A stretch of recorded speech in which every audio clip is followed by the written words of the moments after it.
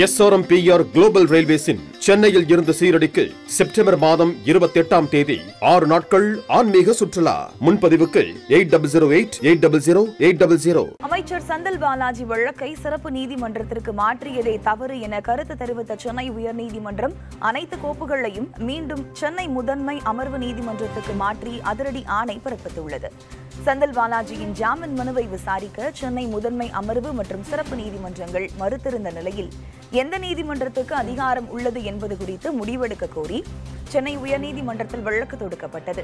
இந்த வழக்கானது நீதிபதிகள் சுரேஷ்குமார் குமரேஷ் பாபு அமர்வில் விசாரணைக்கு வந்தபோது அமைச்சர் செந்தில் பாலாஜியின் ஜாமீன் மனுவை சென்னை முதன்மை அமர்வு நீதிமன்றமே விசாரிக்க வேண்டும் எனவும் வழக்கை சிறப்பு நீதிமன்றத்துக்கு மாற்றியதே தவறு எனவும் நீதிபதிகள் கருத்து தெரிவித்தனர்.